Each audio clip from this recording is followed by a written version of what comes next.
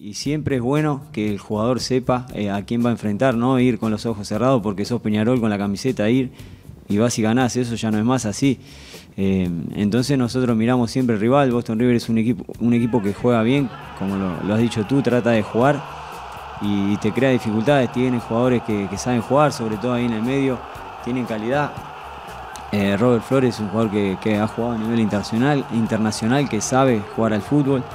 Eh, entonces son, son todos jugadores que ellos, los nuestros, hablo, los tienen que ver, los tienen que saber que lo que proponen y es de la forma que trabajamos. Después el equipo eh, está el partido que hiciste anterior, que fue, fue bueno, que hay que mejorar, pero que fue bueno y que tenés que tratar de ir mejorando.